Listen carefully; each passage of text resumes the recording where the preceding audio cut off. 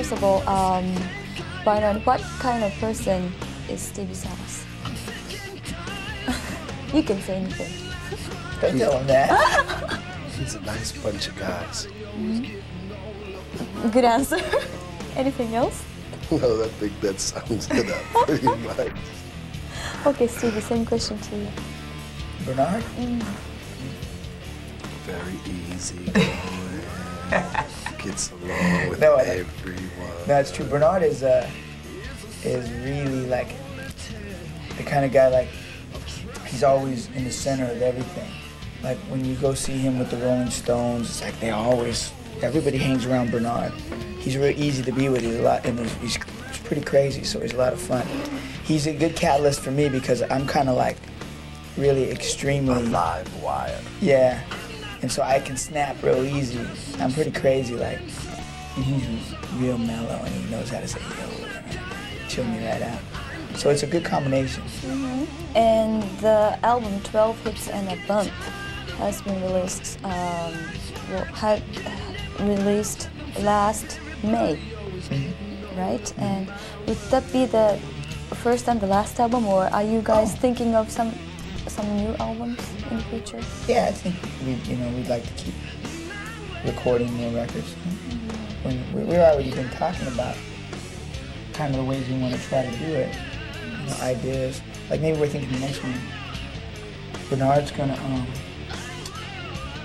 he's gonna shave his head bald and he's gonna scream like a like a monk from Tibet Oh, while I uh, play uh, the ukulele. oh. So there will be a album from the Nickelbag.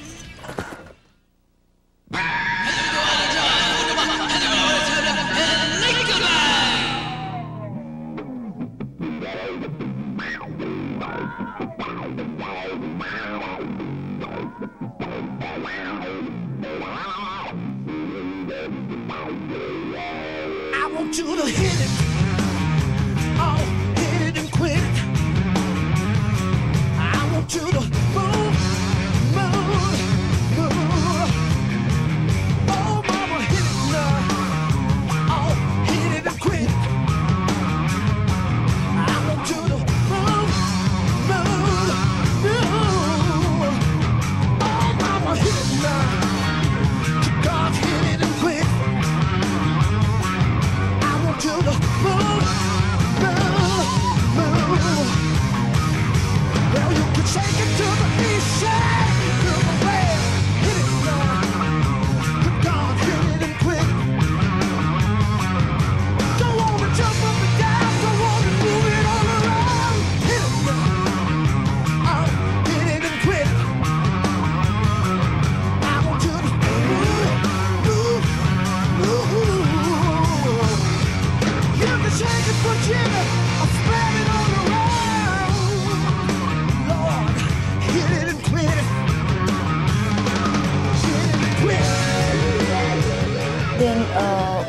opinion towards the uh, general sort of thought that you know now many people think that the rock and roll is better done by the white people, and also the like um, soul music is better done by the black people rather than the white people. And that sort of. They've got blinders on. I mean, yeah, let's, let's face it. I mean, I'm one of those kind of people, and I'm I'm I'm neither black nor white, and and I work with lots of black musicians and lots of white musicians and you know Indian musicians and whatever. But honest to God, let's face it. Who invented the high five? You know, who invented the any cool phrase that anybody says from a white person to black person? It all came from the street, and and uh, and rock and roll came from from black R&B music. You know, it just until people started packaging it and saying it, you know, sh- maybe some maybe white people took the black R&B rock music and made it heavier in sections and things like that, but but that has nothing to came from one place. yeah, it- it's got nothing to do to me anymore with, with black or white. No, because there's a lot of there's a lot of white there's a lot of white singers coming up that if you close your eyes you wouldn't know that they were that they were white, and that's cool. If it's if it's working, that's good. I think each person should they hold on to their culture. If you're a Japanese musician and, and your culture grew up with this really beautiful Japanese music, if you can find a way to, to create Incorporate that. into other elements of, of rock and roll or whatever, then to me that's cool. you That's know? cool. I'm way into into uh, people keeping their cultures and, and interjecting that into things that are already moving and growing.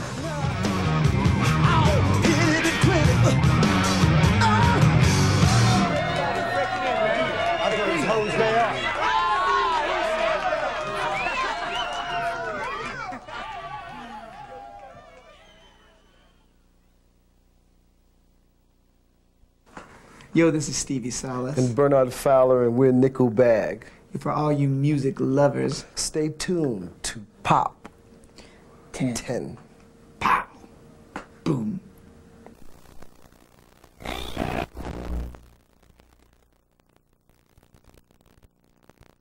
パーギタリストスティービー・サラス。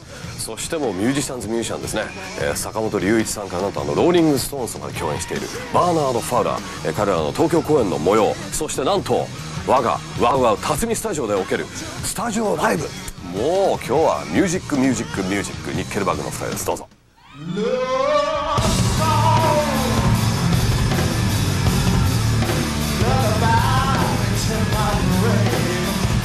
How was the um, audience reception?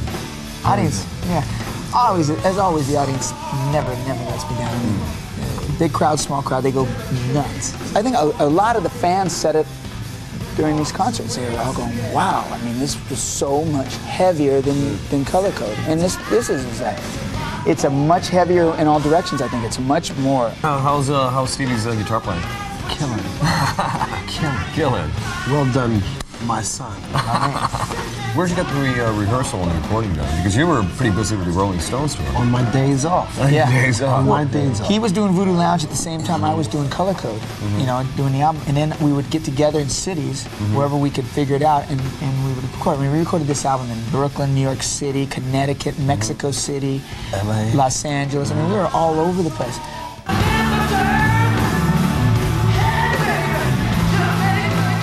First cover that we discussed doing, well, he he asked me, uh, what covers do you like?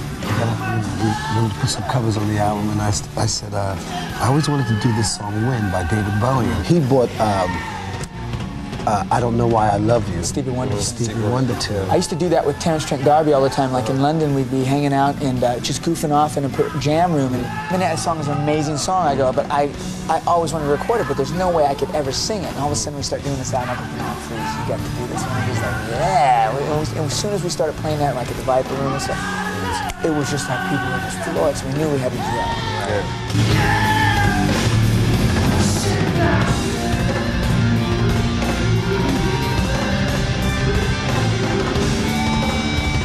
person. I mean, I grew up listening to like um, Little Walter, J.B. Lenoir, The Temptations, Joe Tex, um, The Beatles, of course. The first album that my dad ever bought for me was a Stones album. Really? Yeah, yeah, yeah, yeah. I'm the same as B, you know. The thing about Bernard and I, we're a lot alike in, in ways that uh, we both have played with with so many different types of artists, you know, from R&B, funk, and rock, and, and quite a few of them, you know, just happen to be like legends, you know, Hall of Fame kind of musicians, you know, um, that we've got, been lucky enough to kind of play with, and, and it, I think that that's the reason we can play with all those different types of people is because we have a really wide range of things that we like. I just like music. I mean, I always dream. I remember being in ninth grade and hearing the groove line and dreaming. I didn't even play guitar then, and oh, dreaming. Uh-uh, nuh-uh, and dreaming of being able to be in a band and go up and play ching, ching, ching, ching, and having all the girls dance. You know. Yeah. But I still, All the but still. dance, not all the people. all the girls. Just the girls dance, right?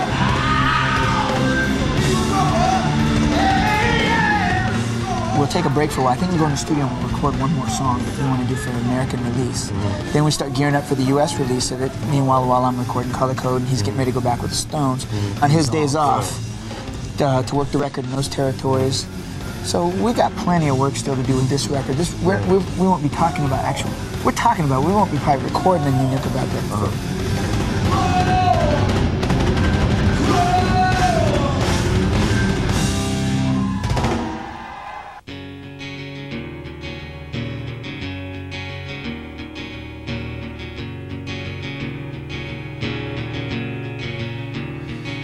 Record. am waiting, I am saving all the words I wish I could say.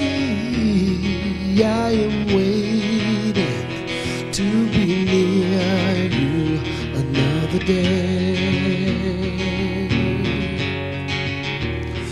I am blinded by the waters that reflect my distant dreams. I am waiting for the wind that brings you to me.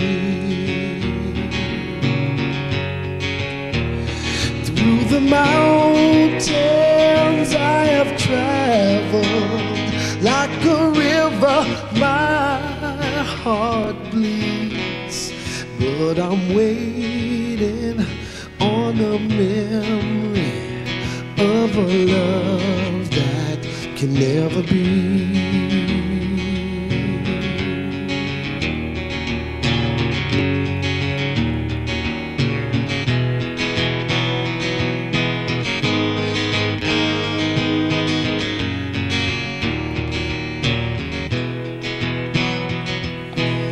Yo, this is Stevie Salas. Bernard Fowler of Nickelbag. Boom. You're watching Tokyo Basara.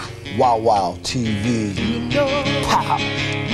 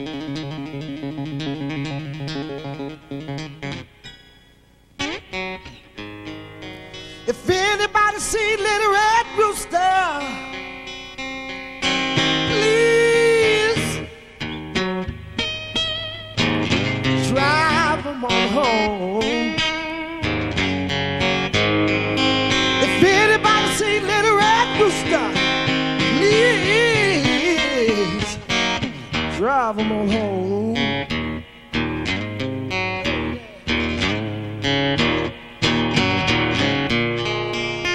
Ain't been no peace in the farmyard since little red rooster has been gone.